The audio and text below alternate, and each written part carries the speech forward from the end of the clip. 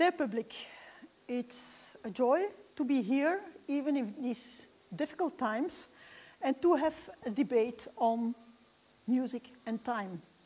The title of the debate is Not Lost in Music Through Time, on time in improvisation and performance. And while I'm very happy to have those four musicians here, because it's on artistic research in and through music, and for that we need absolutely artists. So uh, I will just shortly present you uh, the four members of this debate. And we have first the pianist and musician Malcolm Braff. And of course, he, is, uh, he has my respect and admiration for his uh, place that he took in the Swiss jazz scene firstly, and then after that uh, on a worldly basis and very intercultural basis. He has a very big discography, so you can hear what he did. I will not explain that because it's too much. And what is very nice also is that, well, we have Malcolm Braff here because he's also working in a similar domain as Stéphane Galland, and they work together in uh, some projects together, uh, intercultural projects also on polyrhythmy and um, original uh, folkloric and intercultural rhythms and sounds. And then I come immediately to Stéphane. Stéphane is an unconventional drummer, I would say, searching with passion for intercultural polyrhythmical ideas. And it's very nice to know that he's currently working on a doctoral thesis on this polyrhythmy concerning the embodied sensorial and intercultural aspects of polyrhythmy and a didactic way to bring this implicit knowledge uh, to musicians and students. And together, well, they deepen their approach and their love for rhythmic in a both uh, organic, artistic, and scientific way. Um, then I will go to the next one, and there we have a kind of other duo in classical music. Uh, we have Boyan Vodenitcharov. I don't think I have to explain who he is. Um, he is really known for his great, powerful, and sensitive interpretations of classical music. And what is more important also, well, more important in the case here of this debate, is also that he has a passion for improvisation coming out of a classical tradition. And um, he's, so he's one of these rare musicians in classical music that dare to take up uh, improvisation. And so we come to Jan Michiels, who is also um, passionate about, he uh, has a lot of recordings on Beethoven, and he has some fine-tuned timing about how to bring music of different composers together in his, um, in his work, artistic work, in his uh, conferences and in his recitals and he moves all the way from Beethoven to contemporary compositions. And don't forget, he did a very beautiful uh, doctoral research a long time ago on Teatro dell'Ascolto, on bringing places, spaces, and time in music together. But you will probably hear much more when we start the debate about these um, topics. Um, music is something that happens through time. It's something that happens in time. And time happens through music. Time is in music. And what is a challenge of today is to have these four people together who have, um, in fact, who position spaces in the musical and artistic uh, domain that put together interpretation and improvisation, that put together performance stage and preparation that put together jazz and classical music.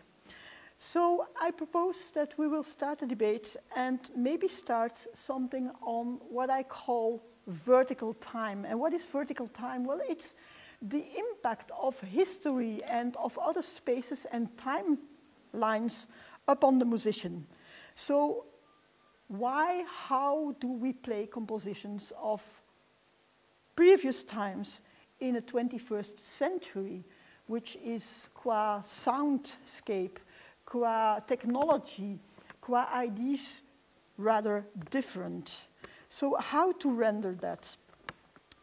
And then, of course, we can move towards, and the participants on the debate are free to do, move that, to do that, to move to horizontal time. What is the idea of time when you are playing? How to create a music time? What is the time of uh, the moment of being on stage? We will talk about that. And of course, then we can move towards other aspects of time. What is a physical time? What is the time of our body? How does our body respond to time while being in a concert? And what is the impact of mental time? And then you think about just things you are thinking on beforehand, but also the imagination, the moment, the being in the moment, in um, the power of just having the public listening to you, having this music and the sound that comes back. So I would rather like to start maybe um, with, uh, well, let's start with Jan about um, performance and time and about this vertical time and maybe that then uh, Boyan can maybe um, contrast or complement those ideas and then we can see how uh, the people more from jazz and intercultural music uh, react to that because that's important also to have this kind of discussion between classical music and jazz. Thank you, Kathleen, for this wonderful introduction. Um, you just talked about Beethoven, and there are so many people who compare Beethoven to the Big Bang of the music history. So let's start with Beethoven. Um, take a sonata of Beethoven, also talking to the students of the conservatory. If we try to get in our brain everything that we could know about, uh, let's say, one page of Beethoven, I think everybody who, who gets all the material or, even tries to get all the material should be frozen in this activity because we cannot go further, it's just too much. not not uh, one person on earth can know everybody, can know everything ab about these pieces. So somehow my um, experience during the years was, um, of course, try to know as much as possible. But um, at the other hand, um, when you work with contemporary composers or composers working today, then often this contact helps you a lot to to handle this this, this, this order scores. Um, that has always been uh, um, my point of activity between the two, um, because uh, we should never forget we're talking about Beethoven. Sonata written in 1813, but when we play it today, it's a sonata of 2021. And that's not easy to, to, to um, handle, especially with all these recordings, with all these uh, teachers, bad or good or marvelous teachers, who tell you how to play Beethoven. Um, it remains when you have to play it, it's your bit. And that's not, uh, that's not easy to, to put yourself into perspective. Um, which part of tradition, which part of, of contemporary tradition or old, traditions uh, you take into into your in your performance. So um, it comes all to a personal choice of perspective, I think, and that's uh, maybe that you can call that personality. Um, but it's also a matter of choice and a, matter of teaching as well.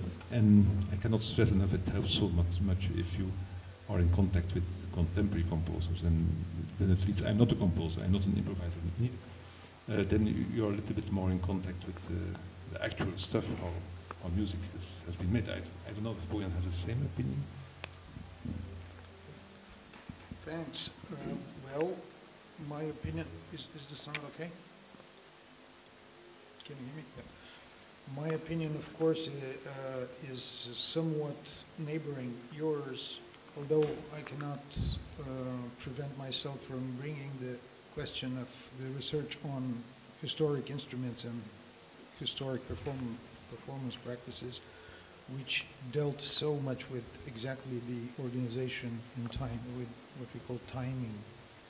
And uh, I remember when I heard for the first time recordings of Harnoncourt or Christopher Hogwood, what struck me was that the form somehow became palpable. I could hear the the tissue of the music. I could hear the harmonic structure.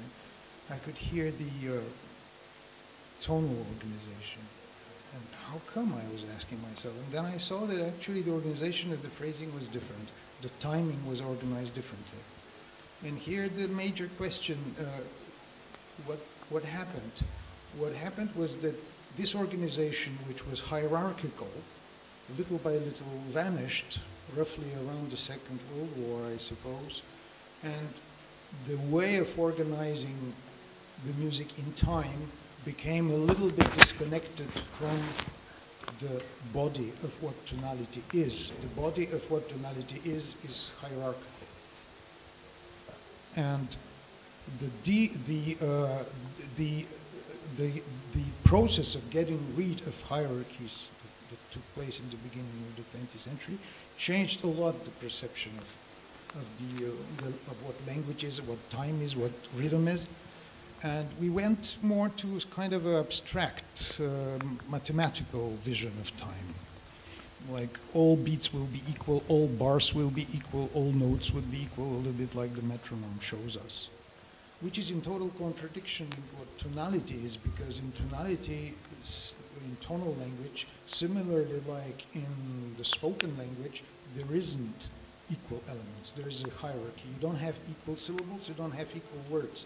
They're in a constant fluctuation, and there's a constant flow from stable through unstable to another stable, etc., etc. Et and this kind of dynamism of the of the inner behavior of the rhythm was striking when I listened to this, you know, people that I mentioned, and then with the with my own work with ancient instruments and, and working on old styles, I figured out that there's incredible correlation between all the parameters in music, what the harmony is doing, what the uh, dissonance consonance relationship is doing, how the phrase is organized, how the tonality behave. All that goes together with the behavior of the rhythm. So it's all one body of hierarchical relations. And we kind of lost that, which is normal because we, we broke many hierarchies. This is just one among others and we did it willfully, and I don't think we made a mistake. This was something unavoidable. But of course, we have to pay the consequences. Now that we need to come back to finding our way towards hierarchically organized things, it takes enormous amount of effort. So it's, it's really uh, not easy come to terms with Haydn, Mozart, and Bach. And I know I suffered hell of a time when I was in this conservatory because I didn't know how to play them. I played them kind of in regular academical way, and I hated it. Then uh, maybe I have illusions now, but I think I do it better now. nice. uh, that's interesting because now you were just saying that kind of we had to go through that that, uh, that thing in, in a way to get lost and then maybe find some something else new and and before we started the uh, conference now we were talking about some um, Bulgarian rhythm because uh, Boyan is from Bulgaria and uh, in, in, Bulgaria you have a lot of um, odd meters like short and long strokes are mixed uh, in a way that that is quite uh, very specific to Bulgaria. And we were talking about that, that uh, people in jazz were using that more and more. But, uh, but at first they were saying that, that it gave a strange feel that it, it was not uh, groovy or swinging or that it was too stiff and because it was too complicated. Uh, but now we see that uh, more and more it gets in the body. Maybe we'll talk more about that concept and uh, and it becomes fluent, and therefore it, it starts to have sense, which maybe in first place could sound like it's just a technical practice that uh, that leads to nothing very interesting, and so. Um, yeah, there are a lot of things that are changing through time that maybe in first place are kind of maybe even destroying things but but in the end it brings something new that you can uh, explore more. I think for the um, for jazz it, it's not similar as classical because it's much younger, of course, and um, and the tradition could could be represented by jazz standards that usually people learn before they try a new thing, or at the same time. But but it's kind of a process to go through um, jazz standards. But um, yeah, I, I think at one point people need to go and, and try new things that maybe sound completely strange or destroy everything maybe but in the end th that's uh, that's also something that I noticed myself that by uh, trying new things and making things more complex and, and going further at some point you need to go back and sometimes way back. So that's why I started uh, listening and studying a lot uh, traditional music from different parts of the world because that's what bring those new ideas that I was developing more sense and more um, roots, I guess. So um, yeah, that's what I could say. And uh, Malcolm, you have something to add, maybe?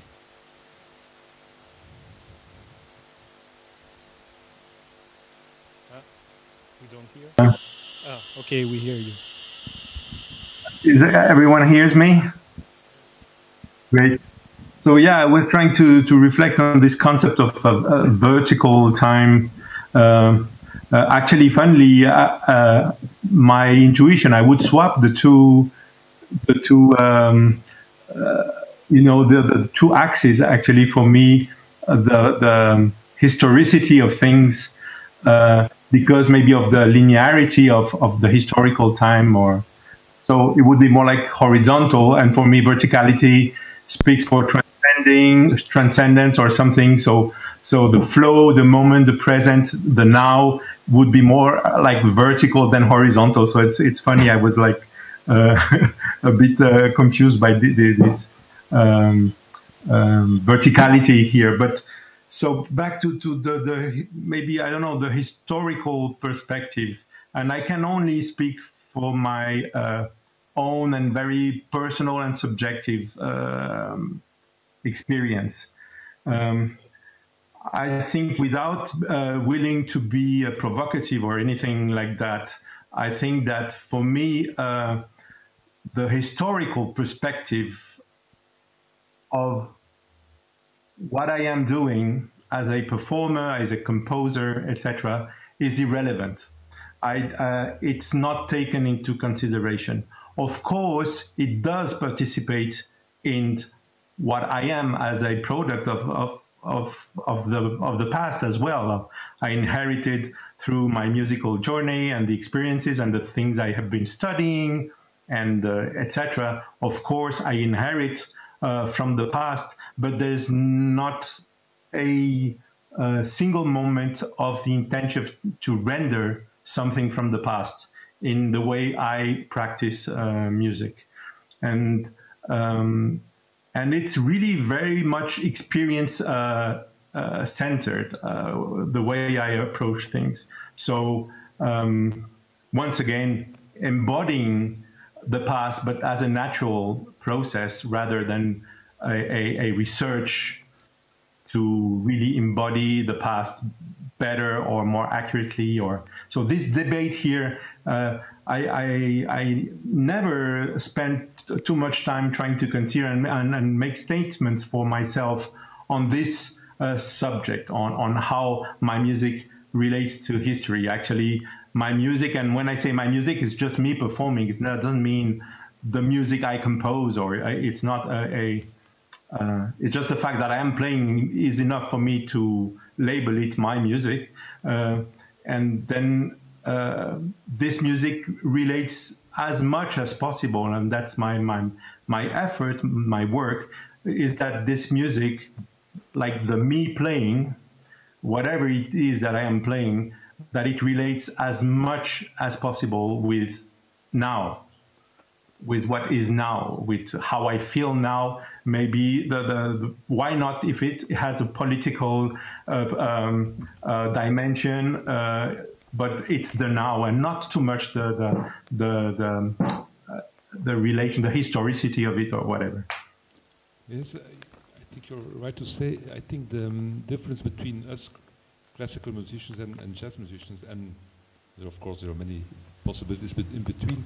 But we have one friend enemy that's very um, difficult to approach is the score, I think.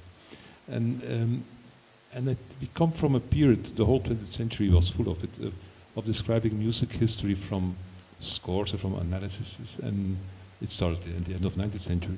And still, um, the students present here um, maybe will lend a, a, a, shot at me. And, and of course, I ask also, also them to, to read the score. But I think that that's a crucial point. The score survived maybe two centuries, but do we read them still as they read it in the beginning of the 19th century? That's the first thing, how to read the score. And I think, like I just said, uh, the score is never the music. So the, the score was always played in a different way. And it's extremely interesting to, to, um, to try to guess from sources how it could have been played then. And, uh, but for me, it's actually still more interesting how they played it 20 years and 40 years and 60 years or later after the composition. And then that's for me more embodied history. And to be a little chain in that in that process is, is, is a very uh, very uh, very passionate thing to to to, to do. Um, so that's I think the score is actually uh, for me first an, an enemy to conquer uh, to um, that you can try beyond the score because the music is never like one of our famous colleagues here, Barthold Kuijken, wrote notation is never the music. And that's your great advantage in jazz field. You don't have this enemy, or do you have another enemy? I, I think we have the worst, worst enemy, if I may just just intervene here. Uh, uh, uh actually, uh, most of the, I mean, the total of the jazz tradition, when when you try to to respect the tradition, follow follow the tradition in jazz, comes from recordings at least the score you can there are some some vague zones that you can have this freedom to interpret it uh, with your own uh, perspective on it but uh, I mean, when you study Jazz Coltrane, it's recorded, so it's a much, much more accurate score than the written score, actually, the recording. And this is really terrible uh, as a, a, a, this enemy, or I don't remember how you call it, to, to face, because uh, uh, and, and, and some really uh, go this way, which is respectful. I'm, uh, once again, I was talking from my, my own personal experience and expertise, and not pretending that the, the, this this is a this is an aesthetic or, or even more a moral question. Of course not. But but to say that in the jazz uh, world we do have a score that's very very present and uh, uh, hard to deal with, which is the recording. Yeah, and, and, that's funny because that was the question I wanted to ask.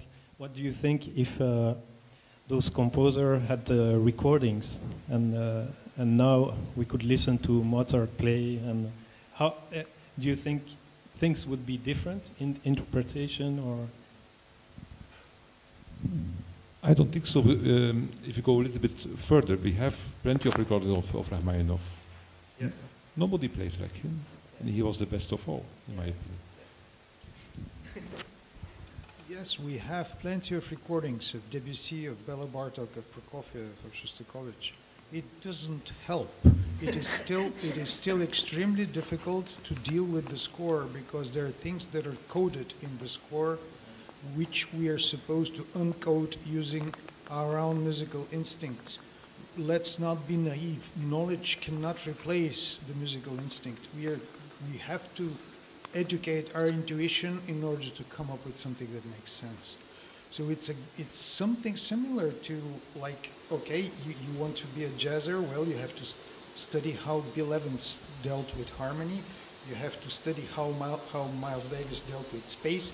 You have to study how Coltrane dealt with spirituality and sonority in, in but then at the end of the day, if you don't digest it into your own sound, all this knowledge is just a bunch of information. So in, in jazz, you have to deal with all this tradition, which is oral, you, you hear it, but it's again the thing of accumulating principles that have to be metabolized into your own inner intuition, if you will. So the score has to turn into your own inner sound image. And this is shared between jazz and classical musicians. Just the thing is, it's, it's, it's probably equally complicated. If you have to deal with the sound which is there, it's probably even more oppressive than the enigma of the score. And the score remains always something completely uh, repulsive. It's a little bit like our intelligence. It's like a necessary evil. We need our intelligence, but only in order to go beyond it. If, if we are stuck with our intelligence, we cannot do anything decent saying with the score, you can be extremely exact with your knowledge or your reading and still it will not give sound that makes sense. You just need to turn to your own personal intuition. I'm just trying to find a common ground. Well, um, what I wanted maybe to, to, to, to mark, there were, there were so um, Boyan, you told about these hierarchical relations, they are lost and that is unavoidable. And what was interesting is that even if you're talking about score, about um, about recordings, there is another word uh, that Stéphane took up that is roots. And roots is something different than a score, than a recording. It's something that maybe you embody also as an artist by way of your experience. And I take a bit up again the experience of, of, of uh, Malcolm. Maybe that is an interesting element to go to more the idea of the horizontal time in, in the sense that with that I mean how you as a performer, as an improvisator, cope with that moment that you are playing and the moment of preparation, of course, also? Yeah, like about roots, for example, if I if we talk about uh, pure rhythm, I think there are roots that are common to any any language, and then uh, I think it's important to understand what are those roots, and I think there are not so many. And uh, a lot of time, I think what we see, because the, everything got more and more complex through time, I think. Uh, so, for example, a musician starts uh, studying and playing, and all of a sudden he's already in a very complex world with a lot of information, rhythmical information, and he has to deal with it. And he can play for years and years and never really uh, study those roots. And, and sometimes you can find people actually able to, to do very complex things, but there is still something missing because in those roots there are something that's not uh, clear enough or not strong enough or so, uh, so that, that's something I, I find very important to, to go really deeply what's the A and B of, uh, of rhythm, for example, that is common to everything. And, and can you deal with that? Is that uh, understood? Is, there, is that clear? Is that incorporated in your body? Um, I think especially in classical music, because the scores are so complex, and so full of information. And most of the time, I think people don't have the time or the opportunity or just the, uh, the, the good advice to just practice a few things to understand the, the very basic, so the roots of the of rhythm. And I think that that's super important, and that can uh, develop a lot of things and also in the in the connection between old music classical jazz whatever. So everything after that got uh, very uh, complexified I don't know if that's the right word but I think you understand. Uh, so so you have a lot of things to deal with but at least if those roots are clear and and understood and strong you can deal with it. And uh, yeah, so I think the the roots are are something very important, more than historical roots.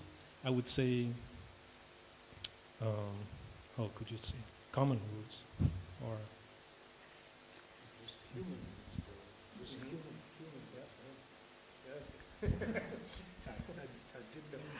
Um, well, maybe I, I, was thinking that um, when Malcolm was, was talking about, about this idea of experience-centered, embodying the now, Malcolm, well, where would you place this idea of roots? Because roots can be something about, can be something conceptual about the roots of the music. But I think here, and that is something very important that was already a bit launched by everybody, that is the roots of your own musicianship and of your own experience. Yes. Um, I tend to uh, believe that, um, of course, uh, the experience each and everyone has of uh, music is uh, personal.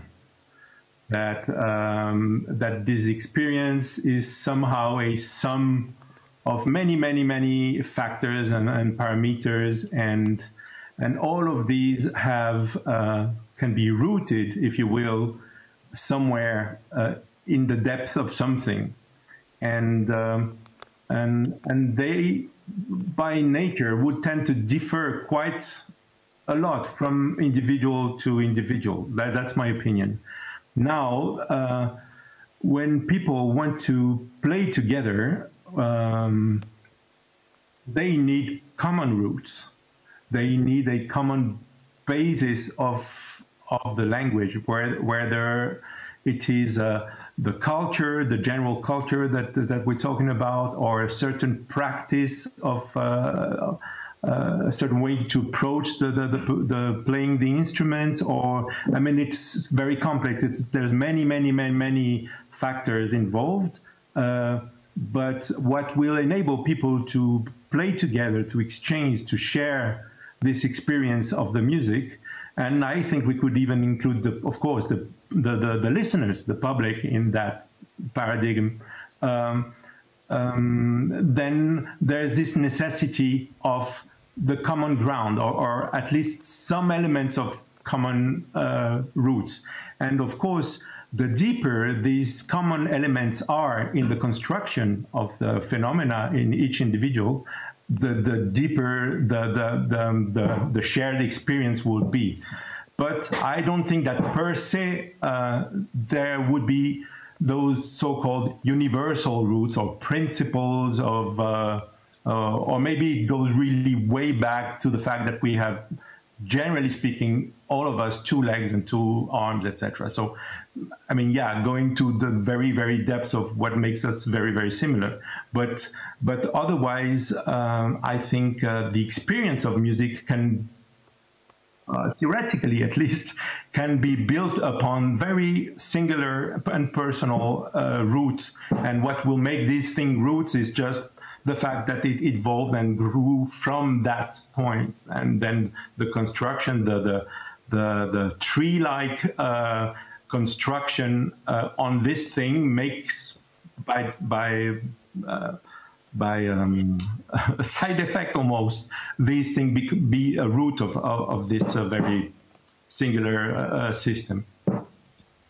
I like very much this tree as, as a side effect because I think in at least for the classical world and it's slowly changing, but I have a little bit the impression that this uh, side effect becomes almost a root for, for many people, a very important thing that that uh, let's put in other words in, in classical music world um, it's also uh, due to the recording, the recording process during the competitions. Perfection has been a norm, uh, has become a norm. Uh, we have to play perfect. And that's the best way to, to, to, to, to, to, forget these rules. I think if uh, Stéphane was talking about this basic and going also about rhythm side, the first thing I'm, I'm thinking about is about breathing, and it's, it's something we, we all do. So in fact, I'm so naive to believe that everybody could become a musician if, if he or she has the, the right neighborhood to, to, to, to, to be nurtured by, by somebody or some, some um, environment. So, and that's in classical music world that's for me a big danger, that this, this breathing is slowly coming back, but it, it, it's, it's disappearing more than it's showing up. And so that, that's why this image of the tree, we always see the stars and the, I mean the real uh, uh, music stars and this blinky blinky of the music world without without um, uh, really realizing where music comes from, and that's why I always refer again to composers. Um, performance without composers um, are non-existing.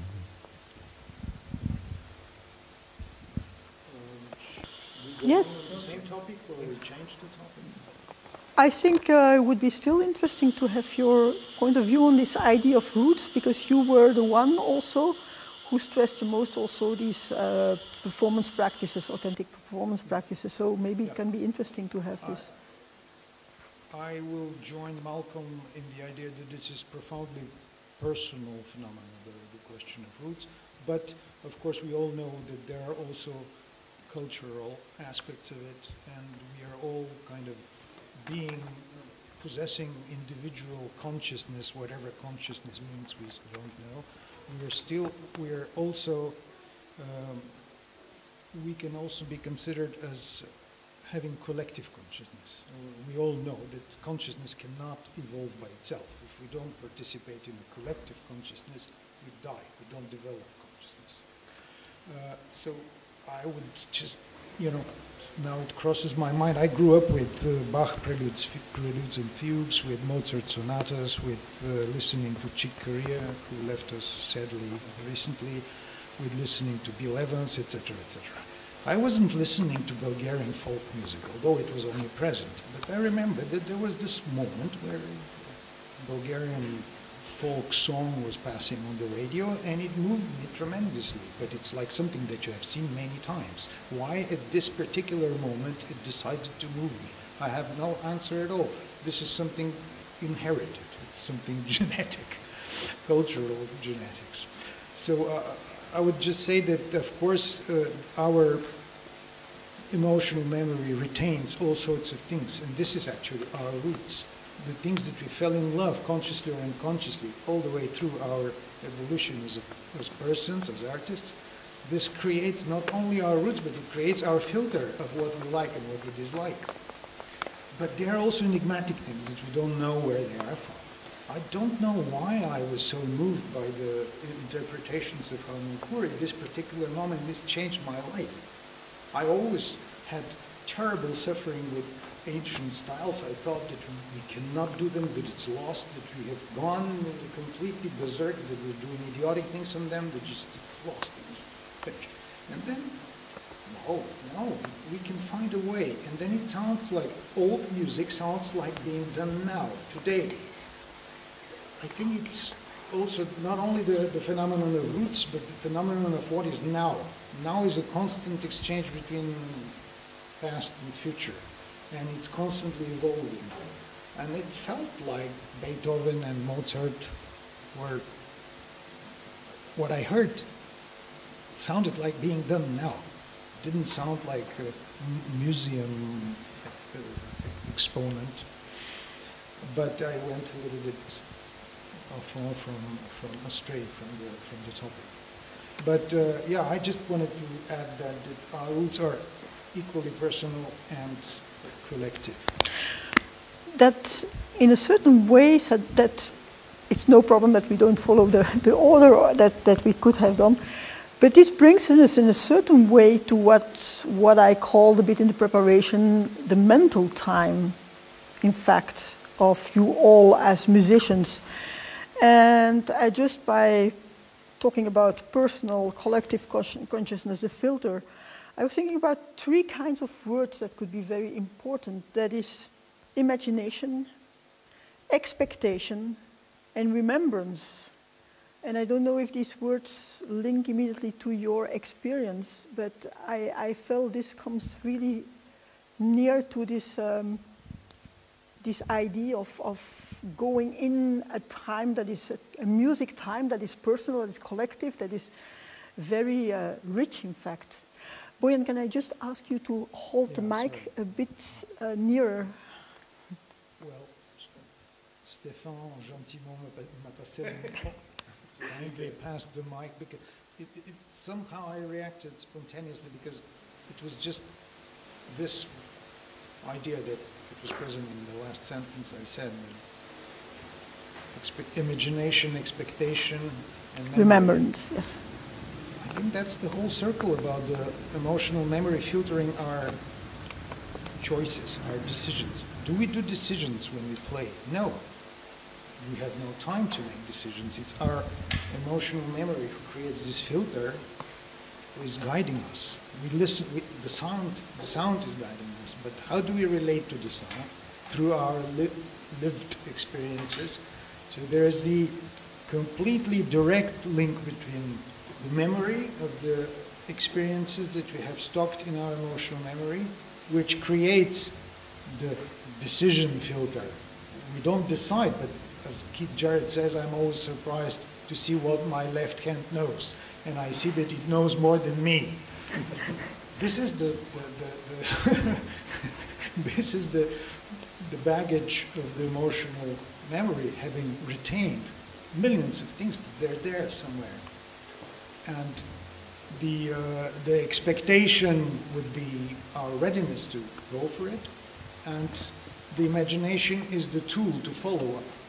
If our imagination is not plugged in, if our, to be scientific, the right hemisphere is not active, we cannot communicate with our emotional memory that retained all these uh, elements that are guiding us. We will not even understand what the sound tells us if our imagination is not switched in. So it's a completely circular process, makes us think a little bit as uh, uh, Jan suggested this amazing book by uh, Carlo Rovelli, The New Direction of Time, where, where speaks about the present being a constant oscillation between the past and the future. This is like explaining what making music is all about. It's a constant oscillation between kind of a communication between the imagination supposing and the memory re having retained things. And they nourish each other in a circle. And in, in improvisation, I think that's the number one thing. That's the, if you don't have that, you cannot Jan, maybe what would be interesting also is you have a lot of, you use one tool very often to give this imagination, to offer this imagination. If I'm not wrong, it's the idea of a metaphor. Also the Teatro dell'Ascolto, also the idea of uh, time with Proust. So such kind of ideas you take to nourish that. The title Teatro dell'Ascolto refers to um, the opera by Luigi Nono, Tragedia dell'Ascolto, uh, written at the end of the 20th century, and that deals mainly about um, how difficult it is for us to listen, actually, not only to music, also to each other, by the way. It's very difficult to listen really to somebody without having always your own opinion interfering and that's why I just talked about this the, the score as an enemy. So one of the, of the tools what Kathleen just um, um, suggested um, I'm using is confronting scores. And then very often um, you see, of course you can see it like a musicological tool to, to see what's similar, what's not similar. But in the act of listening, if you put, for instance, uh, simple examples, uh, Debussy etudes to Ligeti etudes. Um, I had already in concerts experience that people were thinking that Debussy etudes were Ligeti and Ligeti was Debussy. So, and if I refer to um, the wonderful book, The Order of Time of Carlo Rovelli, you should all read it if you haven't read it yet. He starts with, um, um it's in three chapters. Um, first, he demolishes time as, as we know it, because that's, I think it's one of the first chapters. The universal now just doesn't exist. Your now, your now is another now than, mine. Then the second chapter is pure about quantum physics, where he explains how it how it functions on that on that level, and that's for me already very difficult to follow. But he he he manages to to explain even for non uh, uh, non physicians in a very clear way.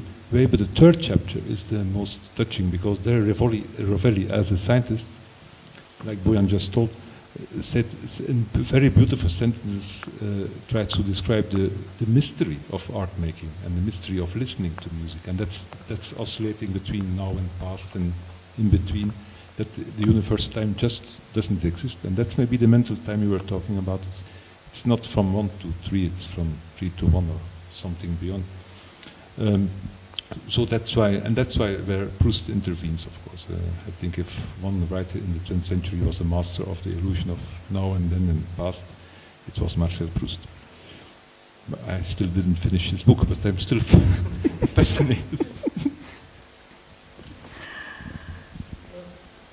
Stéphane, Yeah, imagination, expectation, memory, and then I forgot all about it. no, but uh, the, uh, that, that, like what you talk about, that uh, there's no time and things happen in the moment. Sometimes it's so amazing in improvisation. I think you, you can experiment that so clearly that it's very striking. And uh, I had a lot of time uh, after some concert. I, I would think about it and and think like, how is it possible that we all did that thing all together? Even I remember once uh, playing with a DJ, uh, and we were improvising, and at some point we, made a just a, a, a very short break in the music, and he, he sent uh, some words from a record. Uh, I don't remember now what it is, but but it was so perfect uh, for the situation, and he couldn't he could never have um, anticipated that because he was playing with vi- vinyls. He should have taken the vinyls, find the right uh, place, and uh, and so a lot of things like that happen where you say, yeah, the, the or the way you react to improvisation or what's happening in a band, it's uh, it's totally out of the time as we know it. It's uh, it's impossible just to react that fast or right on the moment to things that are happening. Um, yeah, it's a, it's about that um, flow. I think you're talking about it also in, in your paper that once you get in a flow, i i there's something out of space and time and and things happen just the way it should be. Now, how to get in that flow? That's the question. Malcolm, uh, I know you have the answer. no. um, um, what I, I I can say about this um, uh, those three words so so imagination expectation that somehow come together imagination expectation and uh, and memory uh, so remembering um, is that uh, somehow they do not, as Boyan say, they do not participate truly or consciously to the experience of the performance. And um, and of course, uh, the, the, what music is in the life of a musician, in the daily life of a musician, of course, uh, um, uh, comprises much more than just the playing or the performing uh, experience. There's the composi- composing for the composers. There's the preparation, the the, the instrumental practice. There's uh, the business aspect of it, the communication, the the the teaching. The I mean, music. Uh, the way music interferes with our personal lives as musicians is in many many many ways. Yet. Uh, for me, the core, the, the center, the, the important part of it for me personally is the performing, is the playing, is the instrumental thing like I play. This is where it kind of really happens, or at least that it's this moment that everything uh, leads to. Uh, this is the moment that, that matters. And in this moment, there is no space left for imagination, expectation, nor remembering. Because when one of these happens, it fucks up. I'm sorry for the word, for the French word. Uh, um, it, it, doesn't work. You're out of the experience. You're out of, uh, you know, and it's even hearable. So, um, so for me, imagining, uh, expecting, remembering are indeed um, uh, concepts that are very, very much active, but more in in the side um, um, room. It's like preparing. is like okay, when I, when I'm when I'm practicing, when when I so me as an improviser, what I am preparing, what I'm constructing, working on. So I would say my artistry actually is more.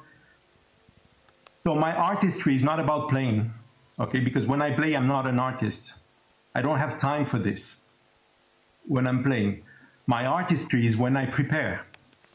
And so, to some extent, uh, um, when I'm when I'm performing, I am not an artist. I am the piece of art itself okay, that I have been preparing before. The me playing is what I shape, is what I work on. And yes, with expectations, memories, uh, fantasy, imagination, projections, construction, etc. But but those words for me they belong to a time of the music musicianship experience that is not the center, the core of what music is for me, which is playing music. I don't know if uh, uh, I could make. I like the fact of being a piece of art. Yeah. well, what then happens? And then maybe we should come to some kind of mastery, some kind of embodiment, some kind of loops of feedback interaction. And I want to ask it a bit specifically to the improvisers here, both in classical music as in, uh, in jazz. What then happens to come in this flow and to be the piece of art? yeah, I, I, I think that's a lot of. Mm, preparation that can be very diverse, of course, uh, but um, but there is a lot of things to integrate so that so that when uh, you are in the flow, things can materialize or things can happen. So that's I think that that's uh, joined what we were saying about yeah uh, imagination and uh, is that whatever you have in mind you got to know what you will need for that to happen. Um, because if you are limited uh, in many ways, uh, yeah, the, the, the expression of that will be also limited. So I think it's important to, to understand uh, what, what you want to create, what kind of tools you need to develop, and how to integrate them so that it's part of you and not something you have to think about. Uh, that, that's that's joined again what uh, I was saying in the beginning about the Bulgarian rhythm that that can be complex. That's something, for example, I really like that uh, those uh, new meters. I would say it's not new, but uh, in jazz it, it's still quite new but how to how to make that your own that it becomes natural that you don't have to think about it or or count? Because that's yeah, as long as you count you have no freedom.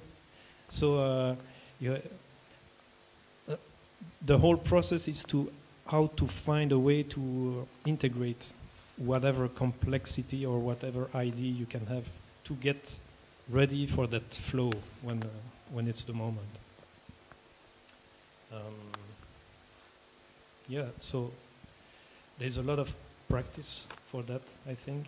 And the way to practice it, I think, is very important. Because you can practice in a way that, that you're always thinking and always staying in, in that uh, very Cartesian mind, or there's a way to practice so that this, this uh, very uh, analytic and technical uh, aspects can go through something that's really in your system and can can be a, a new tool. I think that that's uh, you you can play with what you have from uh, from the beginning, from when you were born, or what you got from your education and, and environment. But then your um, imagination can get you much further than that. And uh, so, what what do you do when? When you don't have those tools. So that's the that's the thing how to understand that and develop them, I think.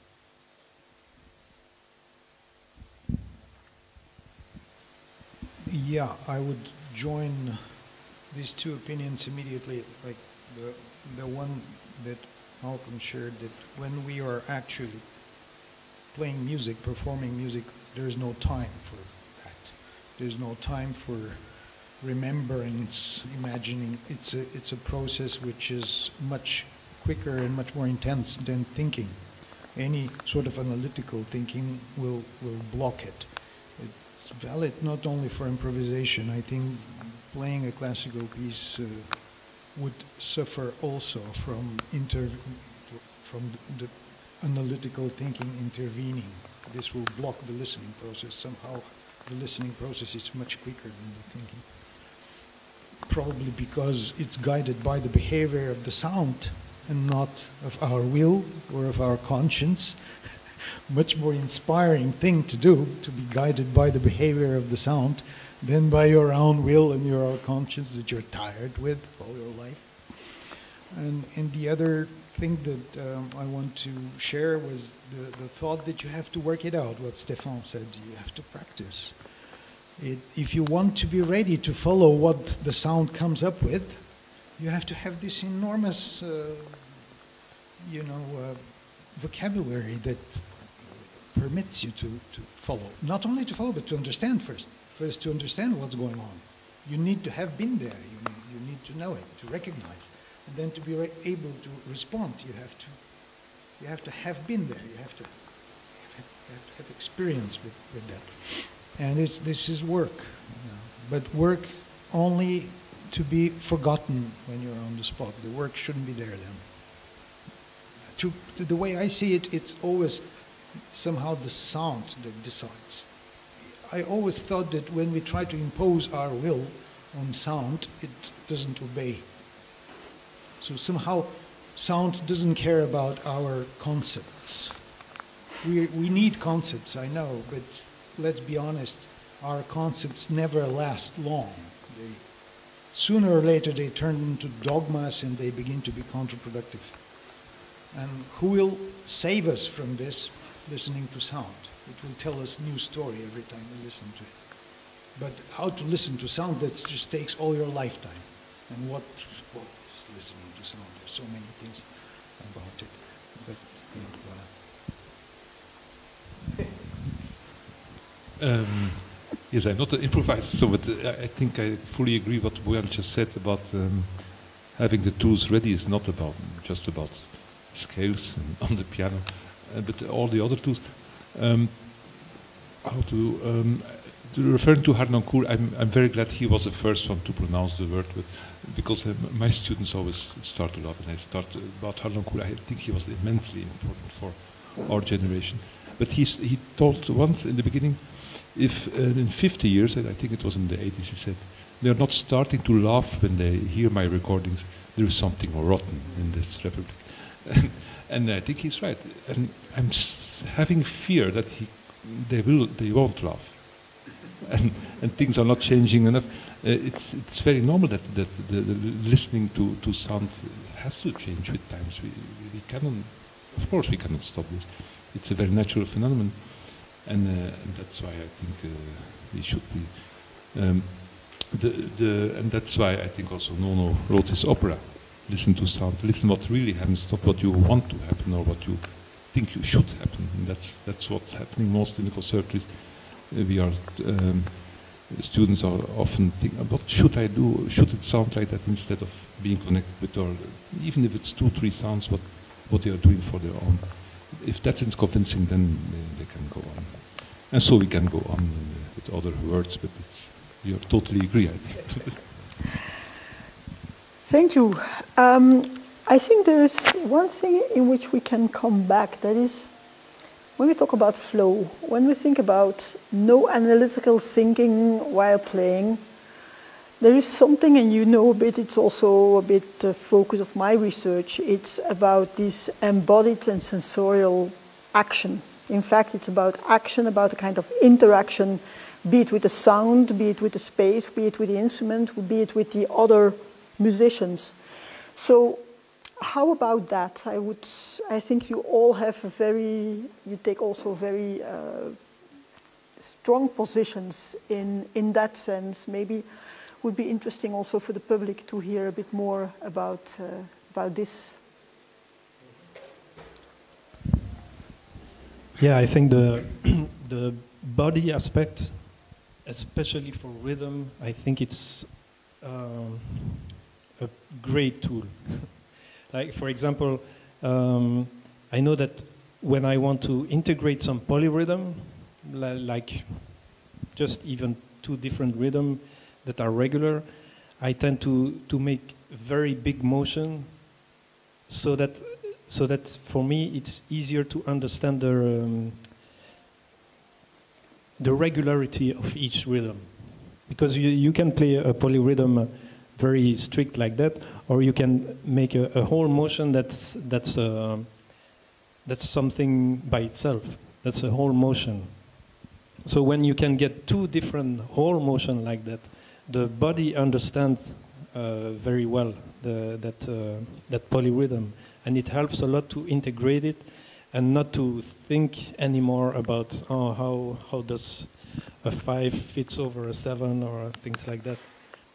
so I think that's very important to, um, to try to understand the body motion of each rhythm, especially, uh, for example, for uh, to come back again on Bulgarian rhythm.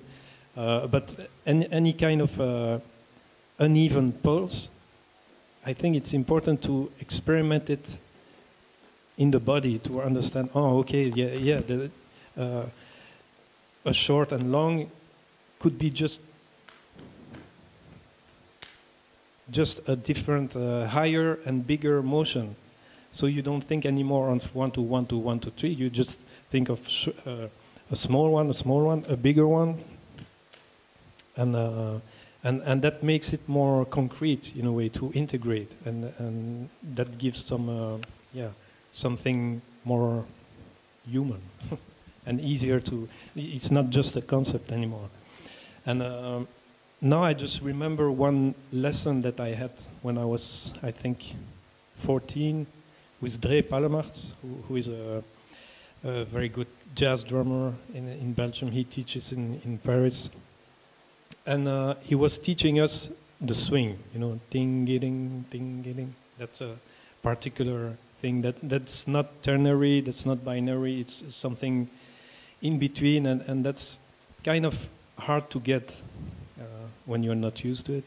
And uh, his, his way to approach it was to just throw the stick and let it bounce. And then when you get used to that, after three, three bounds, you lift it up. And then you had that. And, and I thought that was really nice to get uh, in, in that dimension where it's not anymore that uh, analytic brain that has to, oh yeah, but is it a triplet or is it a 16 notes or is it. No, it's in between. And for that, uh, Malcolm Braff is probably the, the best uh, in, in, that, uh, in that aspect because he, he developed a whole system that, that he calls morphing. And that's about those states in between rational uh, subdivision of, of uh, the beat. And all that has also a very strong link with the body and, and the way people dance because I think just the natural um, forces like gravity, uh, makes something irregular. You know, when you jump, it's not doing this. It's like it's it's like a fast, slow, slow, fast, and uh, so so everything has some curves like that. So when you dance, you naturally have something that's always curved, and the curving of of uh, time is what makes groove, like, like you call it. So when, uh, when it's not um, mathematically equal. And uh, I think, yeah, the body can help a lot uh, to understand, and phrasing is, is uh, a perfect example too. I, on the drums it's like that, but I think yeah, on piano or whatever instrument, because the piano has also needs a lot of uh, motion, right? Uh, the drums even more. So when you want to phrase on the drums, you got to understand where is the beginning, where is the end, and how to prepare each stroke one after the other, and that that makes a whole difference in the in the sound. Uh, so I think the body is uh, is our best friend to understand all that. Malcolm, you want to? Yes, I, I actually. Uh, uh, I think uh, Kathleen, with your with your question, you're getting to uh, uh, what for me would be the point, like the center of, of the thing. And you mentioned the body, and uh, I'd like to just uh, uh, react on something Boyan said before.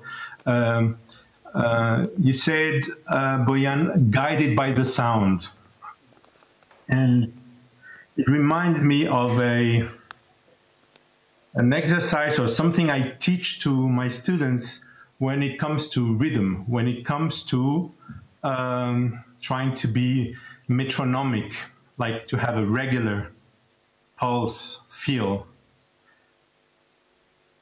Rather than having a, a clock inside that you're trying to follow, I suggest that that students on the piano would go for the sound of the piano because the note has an envelope. It goes like wow. There's this sound that is is a linear thing. Is not a segmented thing, right? It's it's a it's a, a analog uh, continuum, a continuous thing, and then that they sync to this sound, trying to re to reproduce that sound again and again. So down, down, down, and there comes rhythm and regularity. So that the, even in rhythm, even regularity in rhythm can come from the sound itself, rather than a metronomic thing that I have inside that dictates that would be the rule that would be what I pre-decided that this is right and correct. And then, as you say, Boyan, then you miss the point because the sound is suggesting you something else, and you're not able to to follow. So, um, for me, this, this points to the, the fact that the the physicality, the, the the, the so the body is really the center of this musical experience. And then when it comes to the flow, to this presence to the now uh, kind of thing, so this uh, meditational experience that playing is about or this this thing once we stated that yes this is what we value and this is what we're looking for then i guess the body is the key to enter this flow um, and um, i would say there are two and then of course back to the work to the practice uh, of course one needs to practice and and work a lot um, so that the body um, is becomes this easy access and key to, to the flow. And I think that would be two almost like opposite directions here. One way is to try to embody things that are not yet of the body. And this is typically uh, working on a piece uh, where there are certain technical uh, challenges, etc. And so by practicing, and this is pretty much uh, whether it is that I'm, I'm uh, okay, I'm looking for a new technical challenge from an improviser's uh, point of view, or whether I'm I'm trying to to play a composed piece which is challenging, then I will by repeating this again and again um, um, um, um mindfully. Uh, I will then embody this, and then it becomes part of the language of the body, and then yes, I can use the body as a key to this uh, flow or presence to the mind. And the, the other direction I would say is complementary, of course, also is to rather than, than embodiment of something is to look for the expression of the body itself, which means, and this in every uh, instrumental practice, there's always this part of okay, but I mean, I have small hands on the piano, or you know, it's I cannot play like my McCoy Tyner because I have smaller hands, or up, etc. So um, we have our own morphology, and and but beyond that, the body itself has its own dance, its own dynamics, etc. And one way uh, this uh, body intuition or body as a easily access to this state that the flow is about, I, I think it is also paying attention to what the body is saying and finding ways to amplify it or or or or, or make it more uh, uh, fluid or accessible or yeah to to stretch this expression of the body this this dynamics of the body that are even in very tiny small muscular tensions or release etc present and then that one can work on as easing the expression of that. Um, so I think embodiment and expression of the body are the two opposite um, directions that one can work on, and sometimes some really uh, um, focus more on one side and almost not on the other, and some try to create a balance. I guess it, there's a room for every kind of experience here, but I would say those would be the two directions that can help work towards this accessibility to the flow because I truly fundamentally believe that uh, the body is the key to access this presence to, to the moment of the performance. Thank you. I like very much this idea of music as a dance of the body. Just maybe just uh, some last reflections from the classical music musicians, because of course the body is less free or not maybe. Oh, don't say that, please. Okay, well that's, that's sad, what I wanted that's to, a sad to launch. but it shouldn't be less free, ideally. it is less free for a very simple reason that we don't, we classical musicians often don't direct our body towards the essential things. Like if you, if you take an average student, what is his body doing? Usually stopping on every beat to make sure that it's playing correctly. It's enough to, to tell the students, could you connect your body with the harmonic rhythm, with the changes of the harmony? He tries like it takes two, three minutes. And then everything changes just because the body is simply a prolongation of our intelligence. Another body behavior stimulates another mental attitude. they begin to listen to the harmony, the body is conducting, and then the, the listening is, it's absolutely phenomenal. And I think it's, uh, that's something that we need to rediscover, the, the, um, the fact that the body is the prolongation of our intelligence. Because for centuries it had been considered very differently. You know, like, you know, almost the body's vulgar, you know. It's just just one uh, last thing. No, forget. So turning to the body, I, let me again be an advocate of the contemporary music because if we talk about contemporary music, the first image that comes up to many people, oh, that's intellectual, that's very complicated, that's unplayable. But there, there comes the body in. Um, if you see very complicated, uh, com let's say, Ligeti etude, there is nobody on the world who can control every note he plays when he plays a Ligeti etude. There's all, always a moment where you have you have to practice very hard and not. It's also with, with it's always about harmony, but also about texture. But there is a moment where you have to let your body go. And, and let the, the, the, the muscle me memory, the finger memory, your oral memory, let it go. And then you, you get to the music. And if you, uh, after five ligeti, uh, you turn to the Hammerklavier sonata of Beethoven, it's much easier. okay. Um, is there somebody who wants still to add something? Malcolm, Stéphane? I think we started with music and time. We ended by the dance of the body. Harmony leads the body, and let your body go. I, well, I will still open if there are some questions here of the public, but I hope that all our, all our students will listen to this very interesting talk in which I think we had very important aspects of musicianship over the differences between improvisation and interpretation, over the differences between jazz and classical music. So I open the floor for five minutes to the public. Do you have some questions to one of these musicians? Please. And maybe we have to pass, pass the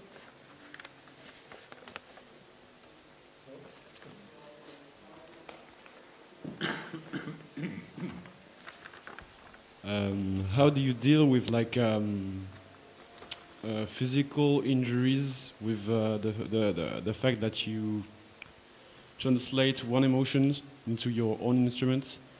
That maybe like actually I'm feeling like a, a back pain, not not a real pain, but like a, um, something stressed on my like on my shoulders. How do should I like react to my musical purpose? How should I be like to to be less focused with uh, an injury and be more into music because it's it's uh, I'm playing drums and it's it affects my sound, it affects my feeling when I'm playing, and I'm thinking about that. So I don't really know how to go through that and how to because I've been lately using like bigger motions to uh, embody more the um, the, the, the, the muscular thing muscular thing that are going through my body, but I'm still struggling to know if uh, it leads to uh, more freedom or if it's leading just to caring too much about a lot of uh, new elements in my body.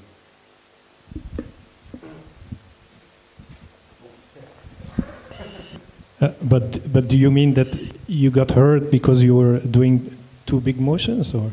No, uh, no, I didn't. I didn't get hurt, but uh, I feel like I'm, I'm, playing some snare drum etudes, and uh, I try to get rid of uh, rigidity, but then uh, by doing bigger motion, I I lack of control, and I tend to drop the stick as much as I can, but right now I, I feel like it's uh, not giving me, it gives me a, a, a rounder sound, but it gives, it, it's, it, uh, it um,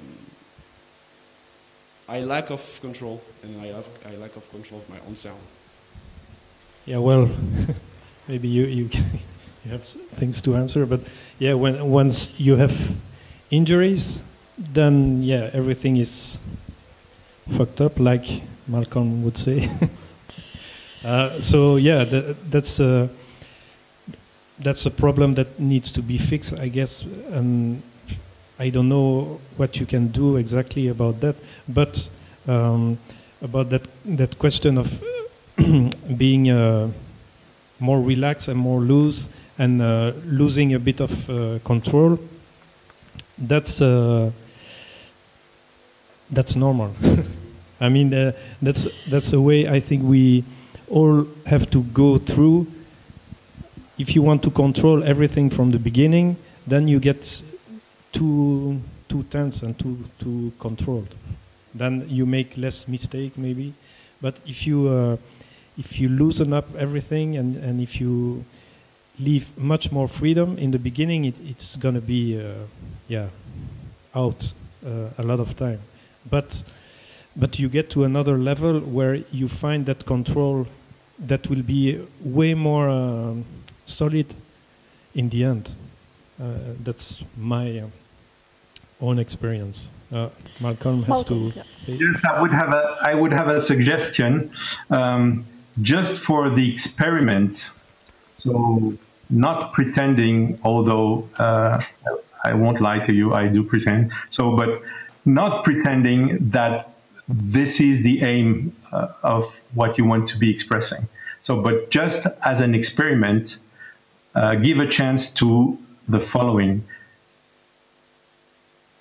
Practice, play, focusing strictly on your injury, on your body, on how it feels, on, and not uh, give up for a while on any sound projection that you have what is, uh, I believe, uh, I've seen it many times and even in, within my, uh, my own experience, what is generating the tension is the contradiction of what the body has a reflex of doing and what you project and expect as a sound result.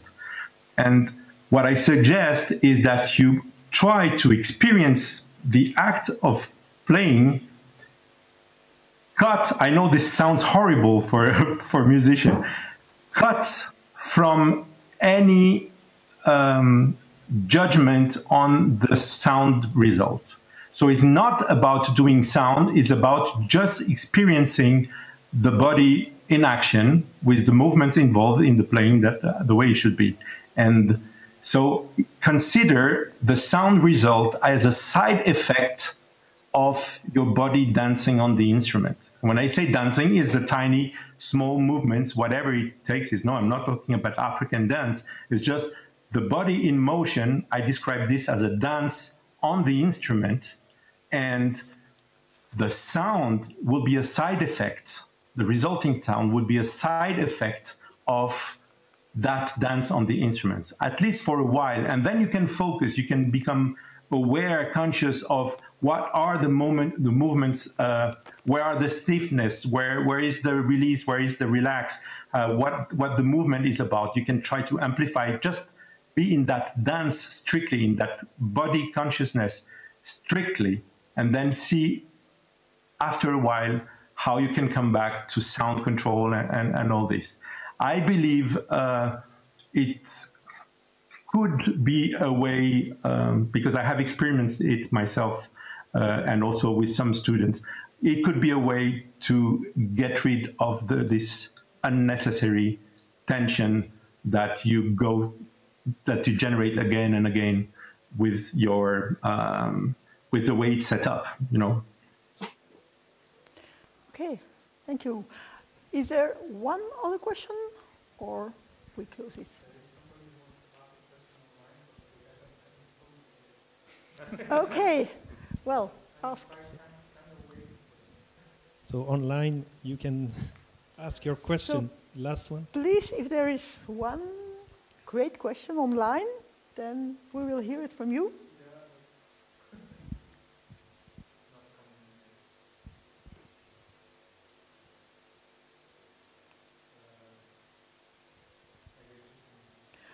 Okay, well, maybe it can be an after question that can be sent by email to you all.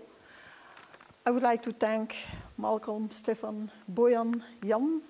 I think it was a very interesting debate, and I hope we will have more of these in the future. And I wish also all the students that were listening um, a very interesting continuity of this research week. Thank you. Thank you very much.